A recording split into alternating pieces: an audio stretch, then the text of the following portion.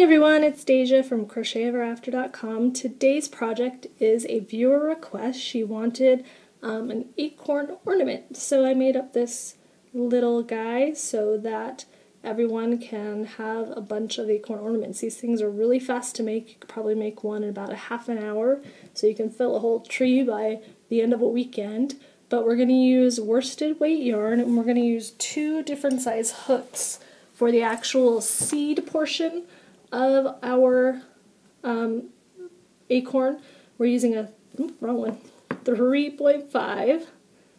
And then for the seed top, we're using a 4.0 millimeter.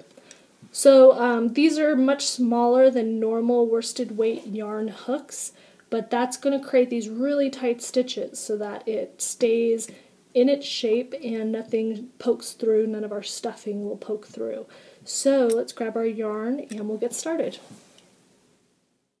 Okay, so we're going to start off with the seed portion of our acorn.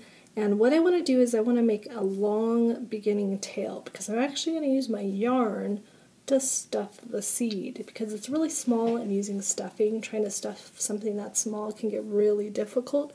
So I'm going to show you how you can use your yarn to stuff it and it's a lot easier. So usually I'll keep my tail short so you can see it, but I'm going to make it longer so that I can stuff it. So I'm just making a loop with my yarn. So I probably got, you know, a good two feet of yarn.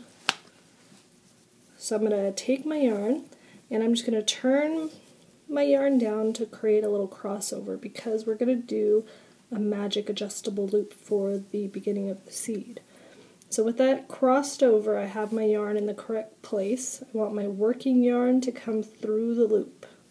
And I'm just going to secure it with a slip stitch so that I can start making my magic adjustable loop. And in my magic adjustable loop, I'm going to put four single crochets. Usually um, you start with six for a flat circle, but I don't really want a flat circle. What I want is it to kind of taper up. So let me show you how we do the single crochet. So I'm going to reach through the center. I'm going to lay my yarn over. It's almost like my, it's not even touching my hook but I'm going to grab it with my hook and bring it up. So I have two loops on my hook. Hold on to your magic adjustable loop so it doesn't um, start spinning on you. Then I'm going to yarn over from back to front, turn my hook down and pull through. And that's my first single crochet. I'm going to do that again, reach through. This one's kind of more connected because now we have a single crochet already there, so it's touching the hook this time. So I lay over, pull up the loop, yarn over and pull through. I'm going to do two more of those so we can finish our first round. And then we're going to close the magic adjustable loop. This is not going to make a full circle. It's going to make almost like a three-quarter circle. You can see it's not coming all the way around where it's going to touch. If I'd put six single crochets, then I would get more of a circle. But that's alright, we're still going to be able to work into this. So we're going to start round two. Okay, so for round two, we're going to put two single crochets in each of our four single crochets. And you can see that the very first one is over here. It's kind of far away from where my hook is. That's alright, we're still going to be able to work into it. If you're kind of confused, because this is a pretty small hook and your stitches are going to be really small, where that first single crochet is, just turn your work sideways and you will always have your V stitches. The tops of your stitches look like little V's, so you're just going to count backwards. One, two, three, and four to find that very first one. So what I'm going to do is I'm just going to kind of reach across instead of going like around with a really long loop. I'm keeping my loop the same size as my shaft because I want tight stitches that the stuffing won't show through. So I'm just going straight across to that first single crochet Sometimes you might have to push to get under both loops because it can be a little small. So once I'm under, then I'm going to lay over, yarn over my hook, pull up that loop, and then make sure that I keep my loops nice and small to keep my stitches tight. Yarn over and pull through. So as we work these eight stitches, this is going to look more like a circle and it's going to kind of form up into a bowl. But what I'm going to do right now is I'm going to mark this first stitch that I made. And what that does is it helps me keep track because we're working in spirals. We're not joining rounds. We're going straight into our next round um, by working right into the previous round. We're not joining and chaining one. So I just take a stitch marker and you can put it under one loop or you can put it under both loops, whatever you like to do. I'm just sticking it, sticking it under that one loop.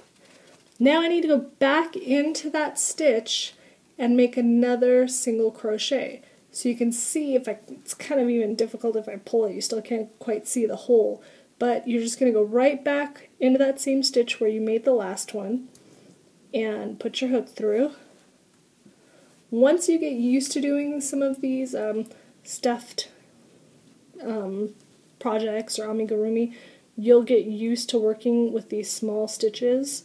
Um, it can take a little bit of practice to start these first couple of rounds. So don't get frustrated, just keep trying and remember look for your V's to find your stitches. So now I'm going my next stitch and I'm going to put two in there. These are a lot easier to see, they're a little bit bigger than that very first one. So I just go right back into that same one to make the second. You see my stitches are really tiny because I want them to be really tight.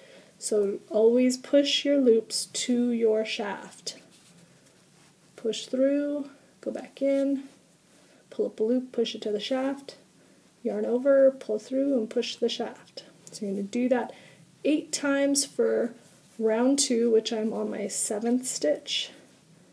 Now I'm at eight. And I know that I'm at the end because my stitch marker is right there. And you'll see it's kind of starting to look like a circle. I'm going to start cupping it up. I'm going to push that center out because now I'm starting to get the bottom of my seed. So you can see how it kind of um, goes up into a rounded end. So my next instructions for round three are going to have some brackets and a repeat. So what I'm going to do for round three is I'm going to single crochet in my next stitch, then I'm going to single crochet in the stitch after. So when you see brackets, it's going to tell you what you're going to do and how many times to do it. So it says SC2 in next stitch, and then a comma, which means go to the next stitch after, and single crochet, and it tells me to do that four times. So that's going to give me 12 stitches in all at the end of this round.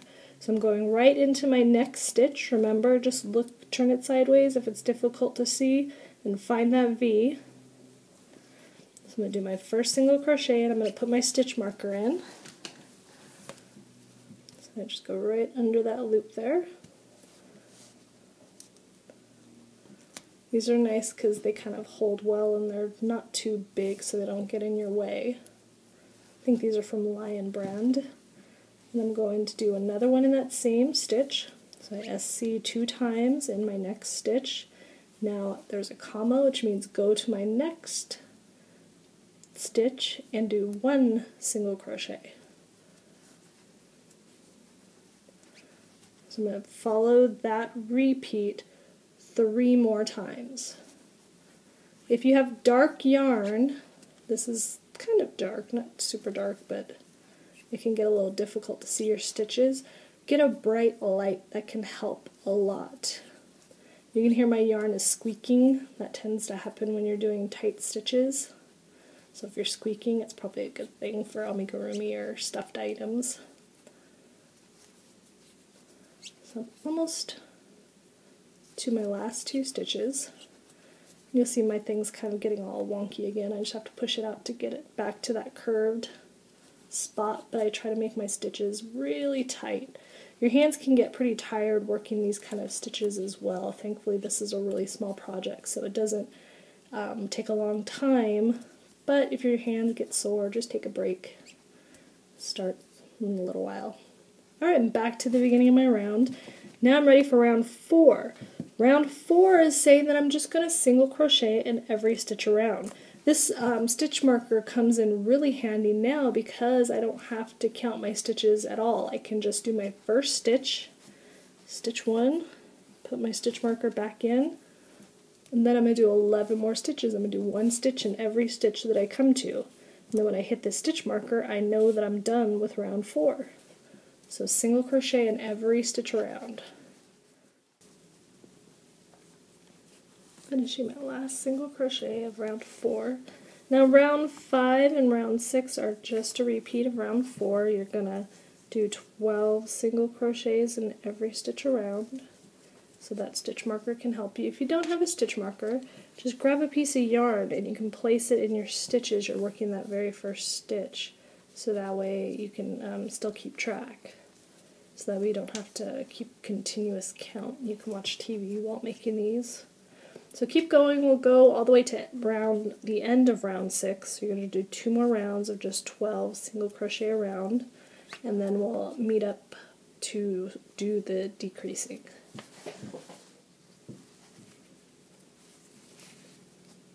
Okay, round six is done. Now we're going to do a much blunter end to the top of our seed than this tapered beginning. So to do that, we're going to take our 12 stitches and decrease them in half, all the way down to 6. So you'll see on the pattern itself, it says, it has brackets, and it says SC2TOG, which means single crochet two together, and it tells me to do that six times. So what that means is I'm going to take these next two stitches and I'm going to turn them into one. So to do that, I'm going to insert my hook into the first stitch, yarn over and pull up a loop, then I'm going to stop and I'm going to go directly into the next stitch that I come to.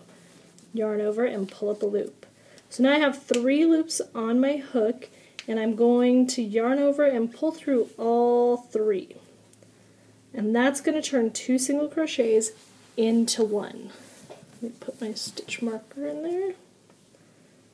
Even though it's a much more noticeable stitch, it's still easier to put the stitch marker in and not have to worry about it. So again, we're going to go into the next stitch we come to. So you'll see that there's yarn coming out of both of those, but you can still turn your work sideways to find that next stitch. Go right through and notice because this is a circle, I kind of push down on the back side and push my hook up through the center. Because if I go straight across, I might catch the other side of my acorn. So when you're pushing your hook and kind of push it up, and I just use my finger as kind of a guide to keep it away from the back side so I don't end up um, going through two layers. I go through that first one and pull up a loop, go to the next one, pull up a loop, and then I'm going to yarn over. And notice I pull my hook straight down, and sometimes you have to wiggle a little bit, just wiggle a little tiny bit, and you'll get through all three um, loops. Because your loops and stitches are really tight in this type of project, sometimes it can get a little difficult to pull through. So make sure you point your hook down and that'll help you out. And if you wiggle it just a little so you don't get caught on the plies, you'll get all the way through. So I just have a couple more of these to do till I'm at the end of the round, and I will have reduced everything to six stitches. Okay, my last decrease. The SC2TOG is also called a decrease, so you can see it written both ways. I'm going to pull out my loop. I'm not going to cut it off just yet because it's going to kind of help me keep it out of the way for while I'm stuffing my yarn into my seed. So I'm taking my beginning tail that was made down here and I'm just stuffing it back inside. So it's going to take a little um, work. You can use the end of your hook to push it in, just kind of double it over and then use your hook and shove it in there. Depending on how much yarn you have at the beginning, you might have a little too much or a little too less or just perfect. If you have too much, just cut whatever you don't need. If you don't have enough, um, just take, once you cut, you can cut this tail and then grab a little bit of extra yarn and push it inside. But this is a great stuffing um, for small items using the yarn that you made it out of because you won't get any um, color, you know, most of the stuffing is white, so if you overstuff it, you're not going to see the white stuffing sticking through. You wouldn't want to use this on like a huge stuffed animal because that would take a lot of yarn. So I probably could use a little bit more stuffing, so let me show you what I do.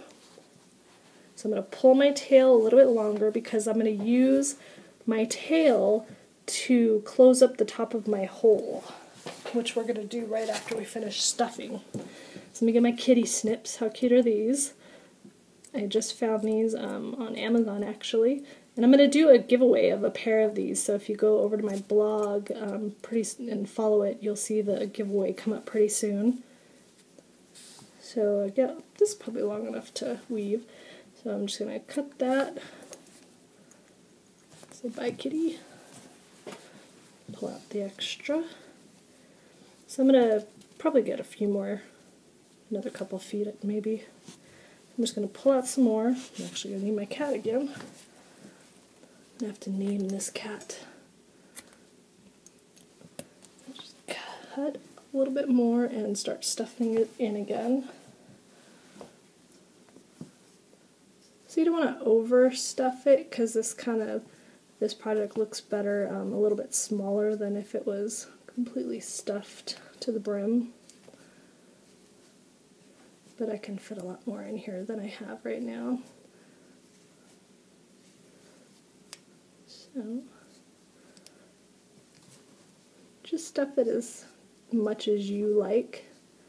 Because it's yarn and not stuffing, it's not going to settle as much as stuffing. So usually if you're using like polyfill, they tell you to overstuff it because over time it loses its um, buoyancy, I guess you would call it. So you want to overstuff it so that it doesn't get so deflated over time. But using yarn, it shouldn't deflate as much as the polyfill. And I think I'm good because the top of this is going to be relatively flat when we're done. So I push it flat now and then see how much I have around. So I think that's pretty good. I think I'll cut the rest of this.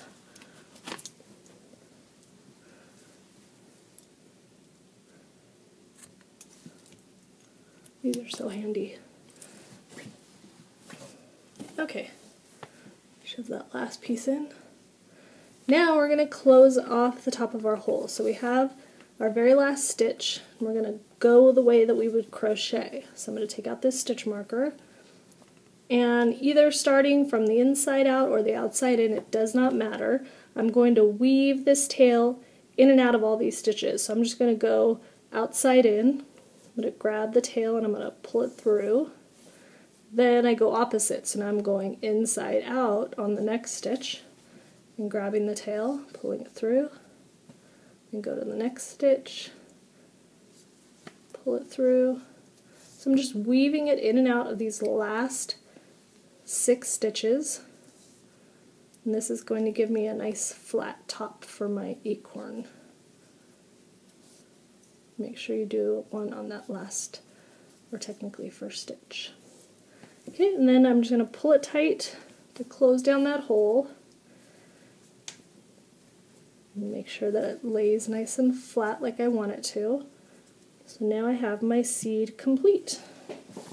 And I'm just going to get rid of this end in a super easy way. So you can weave it in if you want to, but what I like to do is I just go right through the center and poke it out whatever end, pull it through, and this kind of helps make it flat too because I can pull it nice and tight. Then take my kitty snips, pull it kind of um, tight when you cut it. Cut it right next to your project, and then it's going to ricochet back inside. Nice and easy fasten off. Okay, so our seed is complete. What we're going to make now oops, is our seed top. This is really dark and it's hard to see when you crochet with, so I'm going to make the seed top on the video out of the same color, but when I sew it all together, I will use the darker brown one that I made. But what we're going to do is we use the E-hook, or the 3.5 millimeter for the seed. Now we're switching to a 4 millimeter. And what you need to do is be careful because I don't want to say F or G. If you can see on here, both of these say 4 millimeter. One is an F on this. These are this is the same manufacturer too, which is kind of cracks me up because this is a Clover Soft Touch and this is a Clover Amour, and they are different letters. I have an F and I have a G. So don't go by the letter, go by the millimeter. So find a 4 millimeter hook because you just want it slightly bigger than your 3.5 millimeter so that it will fit nice on top of your acorn. So don't worry if it's an F or a G as long as it's a 4 millimeter. I don't know why they do that. It still baffles me, so I'm just going to use my soft touch since I was using the soft touch for the E. And we're going to start our seed top. So what we're doing is making a little hat for the top of our seed. So what we're going to do is just kind of um, remake the last couple rows of this seed in reverse. So to start our seed top, we want a long tail again, not for stuffing, but for hanging, because we're going to use this to make the actual hanging part of our ornament. So make it a little bit longer than you normally would, and we're going to do the magic adjustable loop again. So turn it, grab it, reach through, you could either just start single crocheting or you could slip stitch like I do. But this time, instead of four, we're actually going to make the full circle. We're going to do six single crochet. So we did six single crochet at the end of our seed, so our seed top is going to begin with six single crochet. So that way they can look identical. So three, four,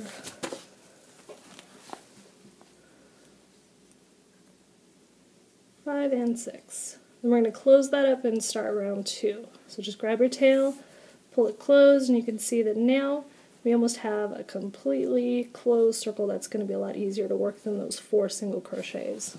Okay, so now we're going to start doing two single crochets in every stitch around for round two. So again, if it's difficult to find that first single crochet, just count backwards from your last stitch made. One, two, three, four, five, and six. So you're going to head under both loops as usual. I always find that very first one to be a little bit tighter than the rest because there's no chain one at the beginning. And this is worked in a spiral as well. Let me throw my stitch marker in that very first one before I forget. And we're just going to do two single crochet in each stitch that we come to, so we'll have 12 stitches um, at the end of this round.